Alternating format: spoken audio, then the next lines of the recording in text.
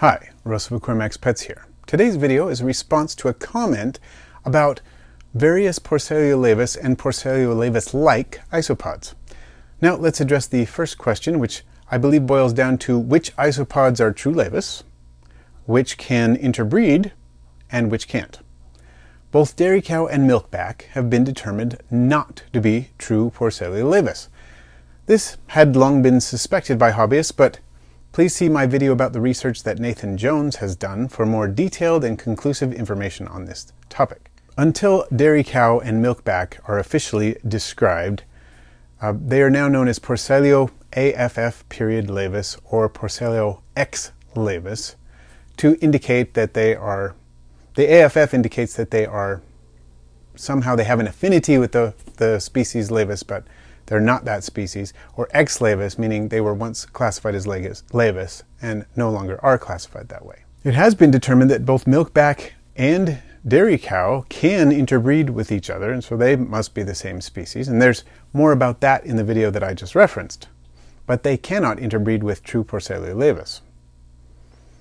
I, along with many other hobbyists, tried and failed to cross dairy cow and or milkbacks with Porcellio laevis orange, for example. By the way, P. aff laevis white was derived from dairy cow, so it can successfully interbreed with both milkback and dairy cow. Porcellio laevis California mix, which is a locality that is quite variable in color, is considered to be true laevis, as are P. laevis orange and P. laevis how now. If I understand correctly, P. laevis orange has been crossed with P. laevis how now to produce P. laevis Colby Jack. It is likely that it can also cross with California mix, though I know of no direct evidence to that effect.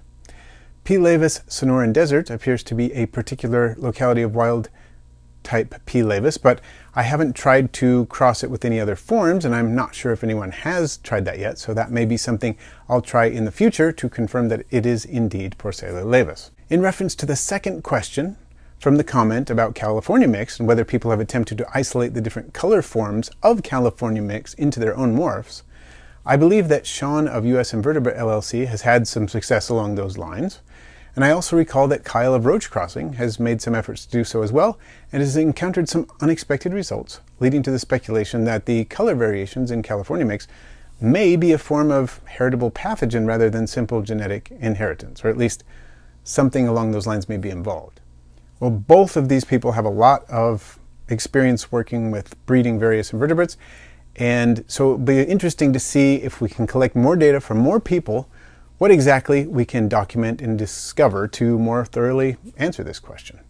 And these were great questions. Thank you for commenting, and I hope that my responses have given you some food for thought and maybe some ideas for future breeding projects. If any of you watching have any more information on this topic to add, please let us all know about it down in the comments. And thanks for watching. I post videos every Friday with live streams on Wednesdays, all on aquarium and vivarium pets. Please feel free to share, rate, comment, and if you haven't already, subscribe. And then tap the bell for all notifications so you don't miss my next video.